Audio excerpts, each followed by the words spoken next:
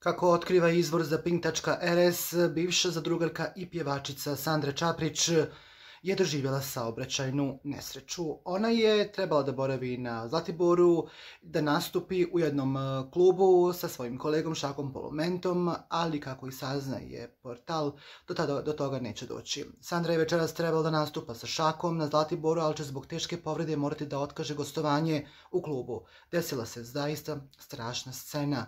Ljudi su počeli da vrište kada su vidjeli da je pala sa kvada. Vozilo i dalje bilo u pokretu, ona je samo iskočila iz njega, raskrvarila je cijelu glavu, mogla i da ostane bez nje. Imala je sreće, mnogo se potresla i ona, a i njeni prijatelj za kojima je tu. Rekao je izvor za pink.rs i otkrio da Sandra Čaprić imala nesreću i da je zaista bila jeziva i strašna scena u pitanju.